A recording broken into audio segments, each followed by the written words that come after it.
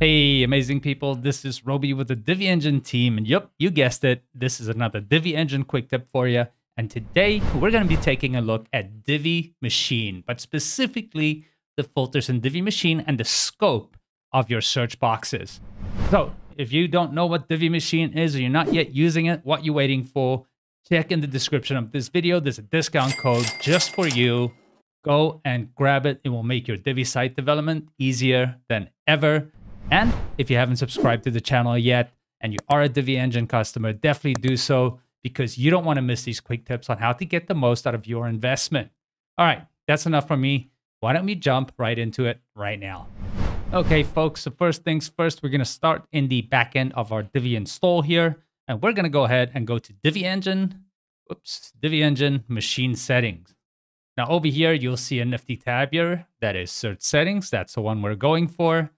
And here you've got a bunch of options. So let me jump in the front end here and let's see. Maybe I want to see all the bags that are listed on the site. So I'll go ahead and type in bags. But it says no posts. But you know, we, we, you're not blind, right? You just saw that there were bags on your screen here. Now, the fix for that is super simple. All you do is you come back here. And if you follow our classified course and Divi Engine members, that's free to you we set up these item types. And within these item types, you've got all your different items. And this is taxonomy. So we need to open up this search scope to include our taxonomy. So let's go to the search settings again and activate taxonomy here. And let's say save. Let's come back to the front end. I'm going to clear my filters. And now we'll go and type bags again.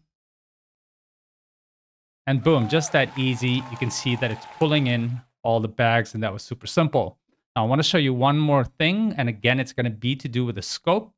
Maybe you want to see all the lost pets. So if I go and I type in lost, that's not supposed to work, Max. oh, my dear. Okay, so maybe you want to go ahead and see if, well, just see all the stuff you've missed, you know, all the sold items. And, you, you know, of course, it doesn't need to be this example. That's the one I'm using. And again, it says, oh, no, no posts. But we know when we reset this filter, we'll see some sold items, as you do right here. Okay, so how do we fix that? We're going to go back over here. Now, we know that that is an item status that we set in ACF. So it's an ACF field. So we want to make sure that we're searching the ACF group of classics ACF. So let's enable that. Let's save that. Let's try that again on the front end. So let's reset that. And I'm going to hit the SOLD buttons.